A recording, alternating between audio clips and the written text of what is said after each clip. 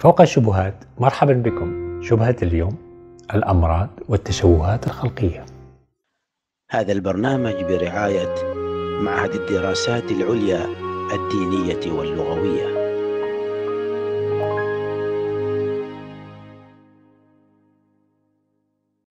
يقول الإشكال لو كان الإله فعلا موجودا فلماذا هناك تشوهات خلقية وإعاقات وأمراض خطيرة ومزمنة؟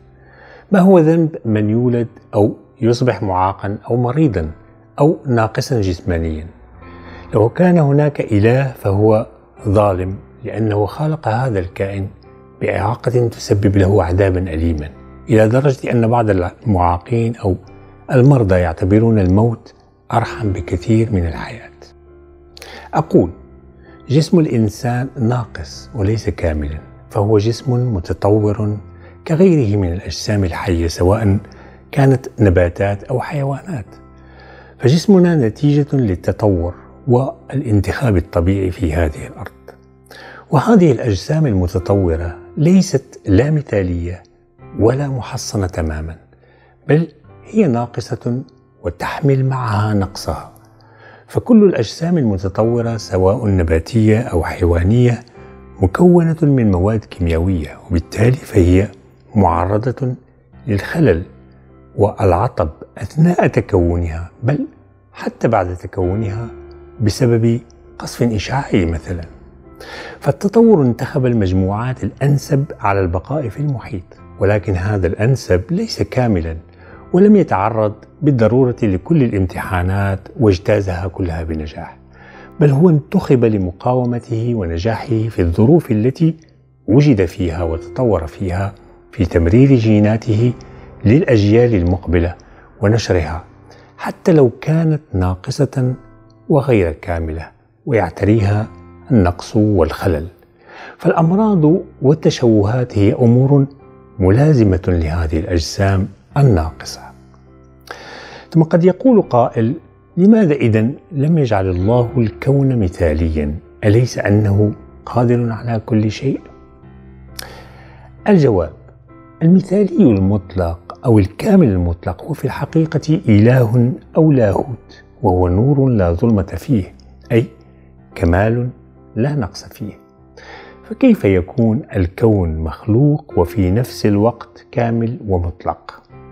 هذا مستحيل عقلا وليس الأمر متعلق بالقدرة.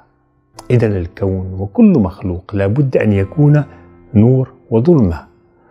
ومن لوازم الظلمه وأثرها النقص والخلل والعجز والفقر والتنافي.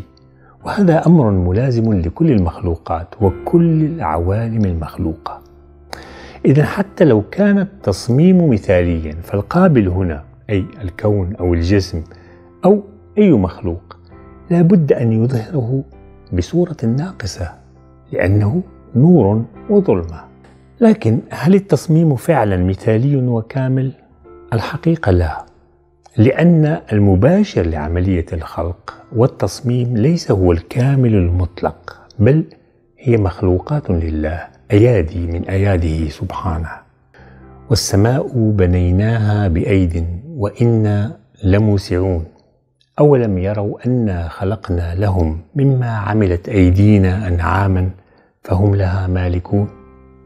فمن باشر عملية الخلق هم عباد مكرمون روحانيون وهم مهما كان علو شأنهم مخلوقون ويجري عليهم نفس قانون المخلوقية أي غير كاملين فهم نور وظلمة.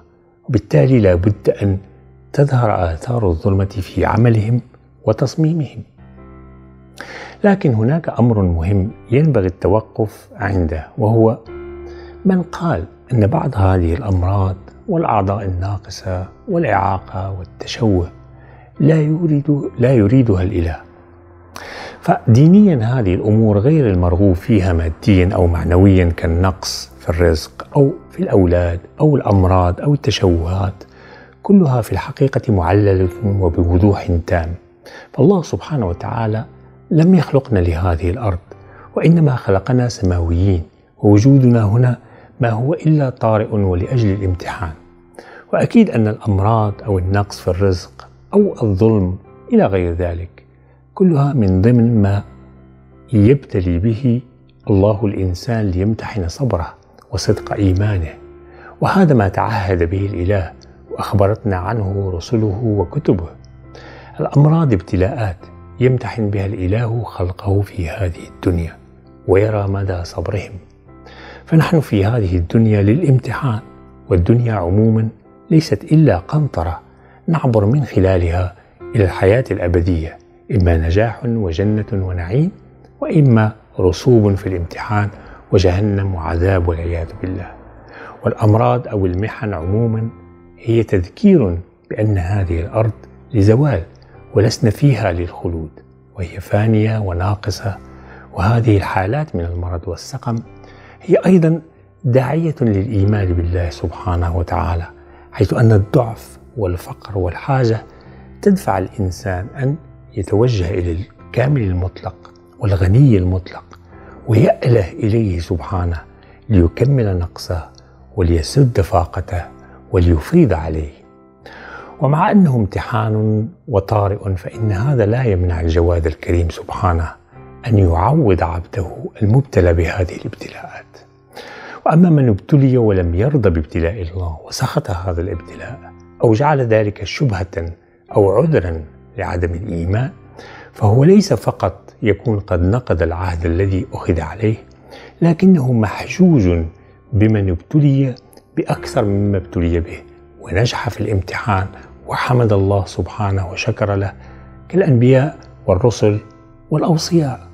عليهم السلام